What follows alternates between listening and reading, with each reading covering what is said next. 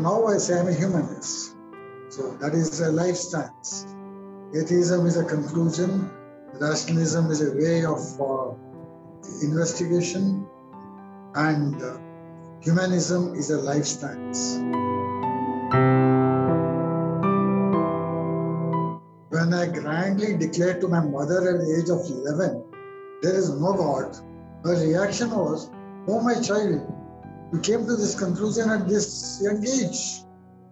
So I think my mother was a closet atheist and unable to express herself because of the Orthodox background she was in, with four children, a husband, and a Brahmin family, and everything else. But as we grew up, she started expressing herself openly. And when she died, she was a total atheist. That is one. Secondly, Abraham Kovoor. He is the man I met in 1976. And when I met him, I thought that like him, I too should retire from my job. He too was a teacher. He was teaching in a college. Like him, I too should retire and do this work full time. In 1981 or so, I met Premanand, who had a presentation which he called as the Divine Miracle Exposure Campaign. That particular way of getting across to people struck me as an excellent and so I joined with him and as we went on he sort of uh, started looking upon me like his successor.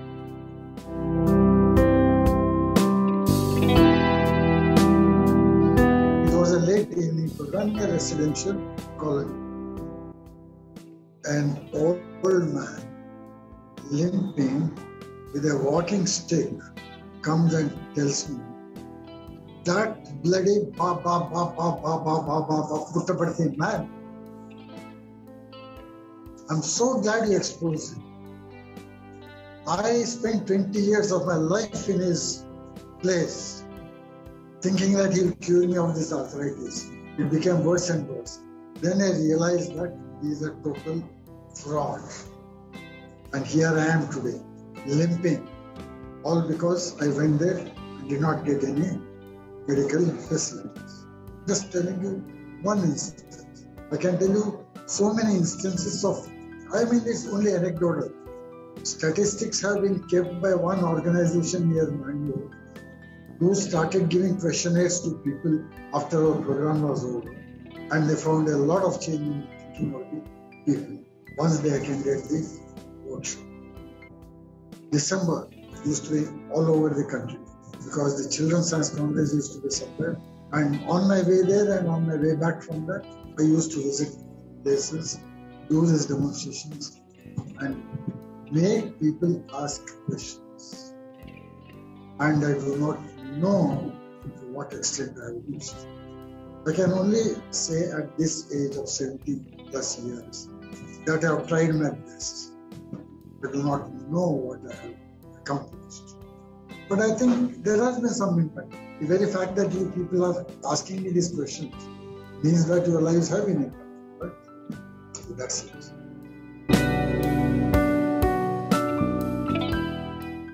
There are only literate and illiterate people. And literacy has nothing to do with education. You may be literate in engineering, you may be literate in medicine, you may be literate in science, and yet be uneducated.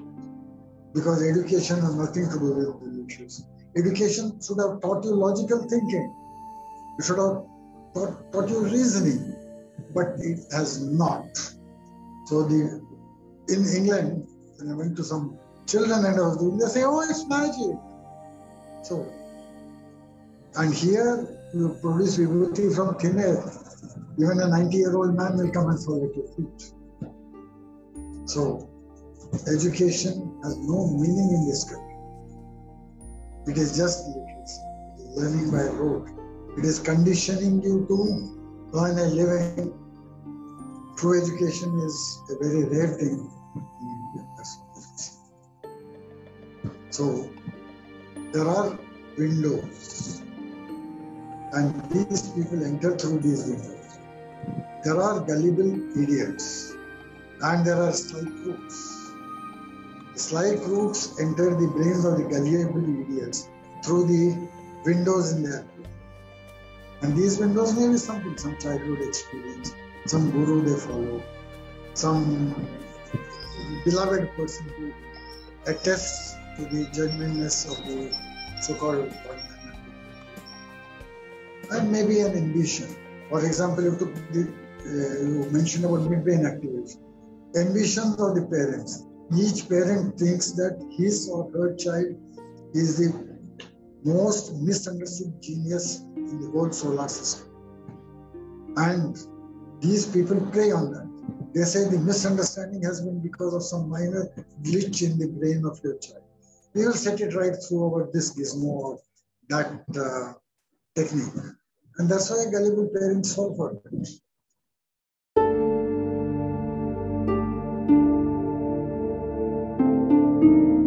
Nobody is asking you the formula of the paracetamol that you take or its molecular structure, but yet you take it, right? Do not bother about the chemistry of. Similarly, nobody is asking you about to bother about the structure of the brain, but just to apply your common sense, whether anybody can see without light falling on the retina. And even that people do not want to do. They want to go in for so-called simple explanation because of their gullibility introduced in their minds from their childhood upbringing, unquestioning acceptance of authority. Nobody questions authority. This is how it develops. Right from the childhood, the mind is conditioning, conditioned to accept authority blindly. The result of that you see today. If you are talking about people not being able to keep up, how are they able to run their WhatsApp accounts? How can they post on Facebook? How do they Photoshop? Are these uh, not the technological things? Don't they do that? So, it is the conditioning of the mind from very young age which most of the people are unable to get out. But most of the things, understand them. You just need high school level science. Okay? For example, if you take the COVID mRNA vaccine, nobody is asked, going to ask you for the triplet codon or the mechanism of uh, protein biosynthesis, how mRNA will bind to the and how tRNA will bring the amino acids, blah, blah, blah, blah. They're just asking you that this particular sequence stands for something which is function at the body. And if you don't want to understand even that much of science and say that some company is adding magnetic material to it and may make your whole body magnetized, what sort of stupidity is that? This is what I've been seeing. That it will create magnetism in the body. It will uh, generate electricity. If it generates electricity in the body, you throw away all your uh, cut off your power connection and use that vaccinated spot for all your lighting and all your power needs. Right? But this is the sort of nonsense that is going on. Even people with common sense are not questioning. So there is no need to understand the complexities of, but there's need to have some common sense, which a lot of people sacrifice. This matched with the gullibility has become a tool which the purveyors of superstition are doing. And they have got a very convenient excuse. These are not outside things. These are all Vedic technology. It was there in the Vedas. So it's not any foreign thing. All the knowledge came from India. From there,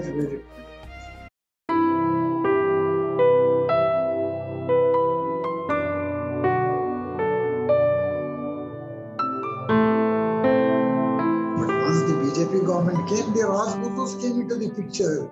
The double Mr. Uh, Jaggi and the other uh, winking contortions, they all became Rajgurus. And of course, the ruler cannot overcome the Rajguru's uh, sayings. So pearls of wisdom came I should say, not dropping, flying out. And uh, the ruling party is quite clever in that. See, Ayush Ministry recommendations are for the common people, not for the top guys. See, the minister, what's his name? Shrikant Sripad Naik, Ayush uh, Minister for State. When he got COVID, he did not take Chyawanprash or take sugar pills. He went and got admitted to Armed Force Medical Colleges Hospital. So you can imagine the hypocrisy of this. Did, did these fellows take Chyawanprash and sit? They got vaccinated. They did not eat Chyawanprash and go out without masks. And when the Home Minister got COVID, he went and got admitted into a seven star hospital. He did not go to a nature cure uh, clinic. So I think it's a sort of Roman service put on as a show. And the very purveyors of these ancient wisdom, they have the latest technology. Look at the bikes, choppers, the latest audio equipment, everything. But for the common people, they advise simple living and high thinking. But I do not know why people do not see through the hypocrisy of such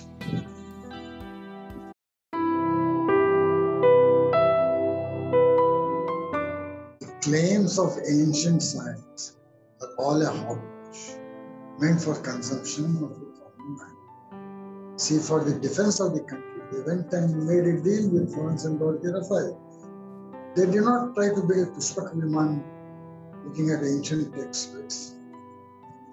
And when it came to protecting the people from COVID, nobody distributed tons of Chawan or Coronil.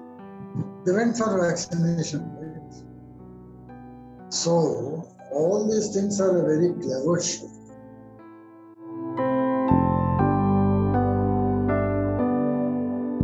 They are talking about an octapeptide. There's only difference in some one amino acid composition. And you know, casein will not be absorbed as such. All proteins are digested into polypeptides and individual amino acids. This octapeptide, which is different in A1 and A2, was supposed to be causing all the diseases. By the way, most of the casein in India is A2 because most of the milk is buffalo milk. They are promoting unpasteurized cow's milk as a panacea. And uh, in Mangalore, I see my neighboring flat, people buying it for 100 rupees a liter. That too, it is brought from a place which is 40 kilometers away, especially for these people because Kabir sort of thing. And that too, desi cow, that too, organic milk. See, all these gimmicks. I got people who are who take simple as not that milk is a very essential but for these people, milk is amrit. And they say that uh, cow's milk is nearest to competition for human milk. It's an absolute lie because the closest thing is donkey's milk as far as the chemical composition. As far as the immunoglobulins and the other properties go, there's no comparison between milk of two species, mammalian species.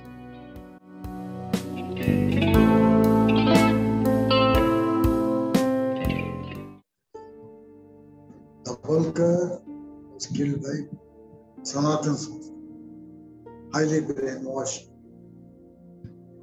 And day after he was killed, there was a meeting in Bangalore. We had a protest meet outside Banashankari shopping complex because I had a national level workshop going on in Karnataka Rajya Vijnana Parishad at the same And in that, I put a proposal that just like the so-called Anti-Superstition Act of Maharashtra, we should have one in Karnataka too. And Gauri supported. And next day papers carried the items. Yes, we put forward the campaign and two separate drafts were made. One by National School of Law which had formed a committee. Otherwise, uh, the Harvard Law University. And in both these functions, Kalburgi was the chief. Next person to be killed is Kalburgi. Then an attempt was made on my life in March 2017. I escaped that because I was very quick. And perhaps providentially because I had started my two wheeler, but I just started it to check the battery and then I went back. I'd gone by two wheeler, I would not have been here today. That time, Gauri Lankesh calls me and tells me, be careful of how, why are doing this? And in September 2017, Gauri Lankesh, 5th of September. Later on, when things were being investigated, there was a list of people who were to be finished. There was a list of 20 or such people. And the list came on. I was happy. Oh, my name was not there in that. Good. But it turned out that it was only a waiting list. There was a confirmed list. And in that, Girish Karnad was one, Bhagwan was one, I was there, and then Nirma Media Martman was there. So we four were on the confirmed list. And actually, they had even assigned who is to kill. I was to be have the privilege of being finished by the same man who killed Gauri Lankesh. So there was a method to this that those who stood for the anti-superstition, so-called anti-superstition, actually it's not so. And Pansare is not there in the picture probably for some other reason. But all of us are identified as enemies of See, the logic of Sanatan Sanstha is that if a Peter says something or a Muhammad says something, you can say talk about Jesus Christ, you can say talk about Allah and Muhammad and things like that. But when a Kalburgi says it, when a Narendra says it, when a Gauri says it, it's very, very difficult to do anything about it. You cannot say that he is a Muslim, his Punya Bhumi lies outside. So they try to label us as communists. And I think Pansare, of course, the common interest of these people is that they want to promote superstitions, and we are in the way. And probably because we have had an impact on the people, that's why they want to finish it. Otherwise, they will seem just like magician. Ah, he's doing magic, means giving something like this here. But later on, they came to realize the ideology that is behind our movement. It's not just doing some magic, but it is making people change their thinking. They had a function at the Pune, and I was supposed to speak. At that time, I had no inkling that I was on the list, but Dabholkar was. When I get off at Pune from the bus, Dabholkar comes and says, Hi, let's go. I said, Hey, Narendra Dabholkar, you are under threat and you are supposed to be under protection. Where is the policeman guiding you? Ah. If I take police protection, they'll kill somebody else. Better they kill. So that was the attitude of uh, Narendra Dabholkar. Uh, Karnad, Girish Karnad was the one who led the delegation to Siddaramaiah asking him to implement the act. When Kalburgi was killed, we had a big public meeting. And after that, we went to Siddaramaiah asking him that this act should be made into law. And uh, just before that, there was a meeting, public meeting in which thousands of people. Two ministers of cabinet had, and I asked them, Dabholkar was killed and we asked for the act. Kalburgi was killed and we are asking it to be made into law. How many more of us do you want to be sacrificed before you may are going to enact a law?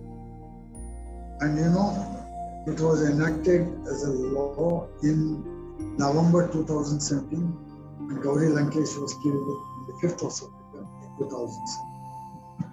Ironically, what I said happened. And in that, Nirmamidi Mat Swami also had taken the leadership. So it looks like there is some link between that. Because Bhagwan has been like a loose cannon always attacking these. So he has been at the center of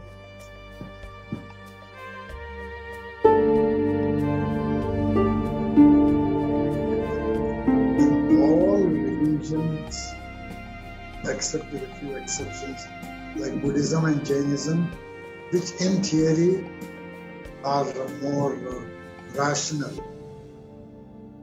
How can you expect people to be rational and believe in, say, the karma theory or a supernatural being or that, say, the caste system?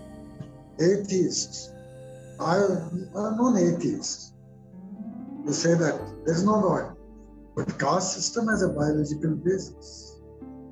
What do you say for? An atheist who says there is no God, but the men and women cannot be considered.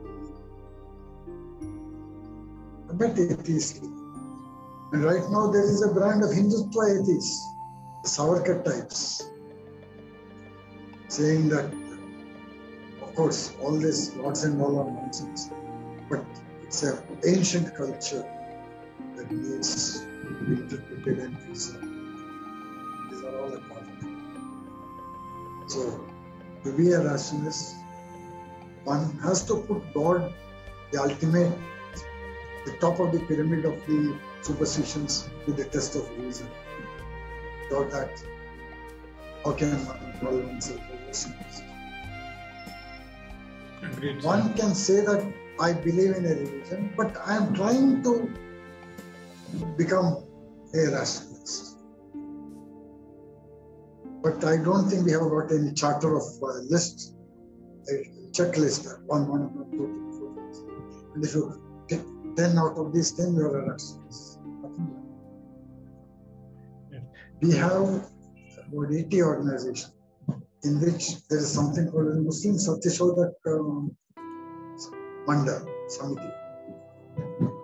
So, a rationalist organization is something, a group of people who want to reason out, debate out, and go towards reason, apply more and more reason in their lives, and change themselves.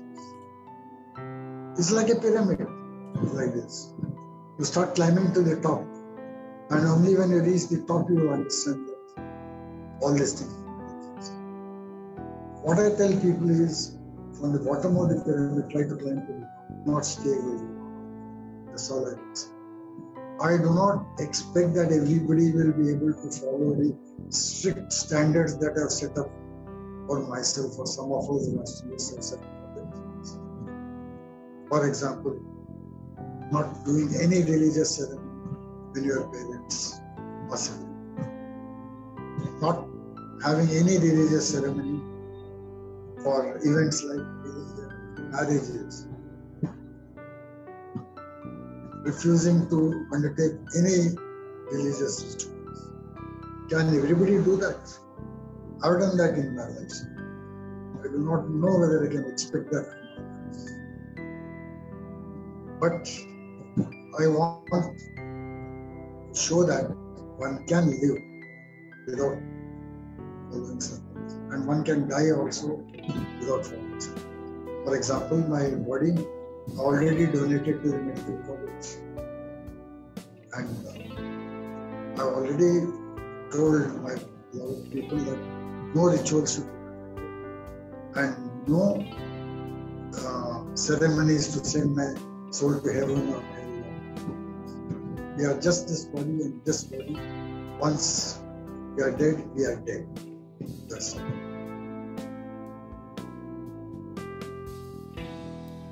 We use particular techniques, and uh, I do not know how relevant those will be in the future. Right now, they are quite relevant us because I go into the historicity, show these things, and say that these were the old generation things, and now the new generation things are like this, like midbrain activation, and maybe electricity, maybe magnetism, coins ticking, because things change with time. When I went to Greece, on Greece television, there they called me to a television show. There I showed the Uri Geller's uh, bending the spoon trick, and I got a huge response for it. I was wondering why. They said just a week back Uri Geller had come here again. So, what, when I went to Australia, there I showed the Indian Hatha trick of stopping the heartbeat and the pulse, and they were very much impressed. Well, they said, no, you just didn't realize that it was so simple as that." So we have to keep up with the times, we have to keep up with the culture, we have to keep up with the place, and be an example to the people. Because everybody claims you cannot live as a rationalist. And people kept on telling me, oh, see, when you when you ex- appear for exams, I appeared for exams and got university fees. Then they said, we'll see how you will get married. I got married. So see how what you will do when your parents, your parents do it. I didn't do anything. Now they are saying, see what will happen to you.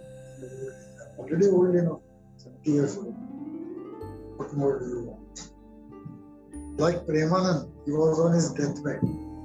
Call me. Before I go into coma or something, come and take my declaration. So I gave a declaration, it's there on the remote. Because people come out with the last minute change stories, saying that when he died, he said, Oh God, and died, and things like that. So Premanand said, Right now I'm conscious, and to my last conscious moment, I do not believe in supernatural. So, what I say is, practice what you teach, or what you believe, or what you hold to be the truth. That's all I.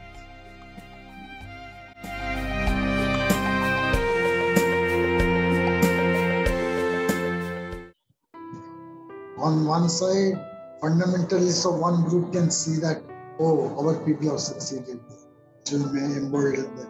On the other side, fundamentalists on the other side may point out, see, they have taken over there.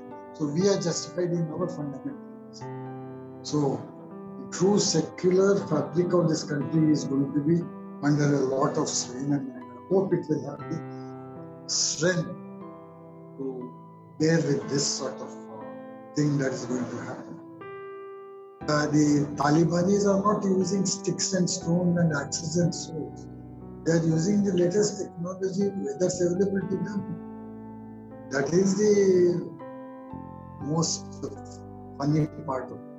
All those who are talking about ancient glories and glory of their civilization are using weapons which are made in the places where uh, conditions are totally different.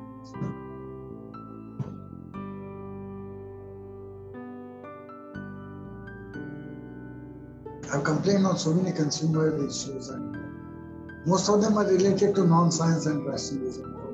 So there's a close link between rational thinking and consumer awareness. Some false advertisement that comes under the consumer. So you can use that act. And again, for false a number of other uh, laws also. For example, there is uh, this drugs and magic remedies objectionable. And there is a list of diseases in. In February 2020, to this list, the government of India added COVID 19. And I was very happy because uh, could uh, make any advertisement of anything that could prevent or cure these a criminal offense. But uh, as it turned out, it was made use of by some. But many got away from saying that it is supplemental, in good things, generative like boosting immunity. Even such ads have got removed by complaining to AACR because they are not based on evidence. So claim everything is an immunity booster. Our double mister who had uh, first advertised his uh, what he called the Shakti drops as immunity boosters, switched to saying that pollution renews and strengthens, and now he has switched back to immunity boosters. Once COVID. There was one man, his name is Vijay Kumar. He had some apparatus called as cytotron, and he said it was a cure for cancer. And uh, I fought that, and the ad got removed from Hindu, and the whole thing became a flop. Now he has come out with a new device. Some some other fancy name he has got it, and he says that will kill the COVID-19 virus specifically. And uh, he's advertising it. And somebody went to the Advertising Standard Council of India and some two, three companies stopped their ads. But uh, he says it is approved by FDA, USA. And so all this nonsense keeps on going around.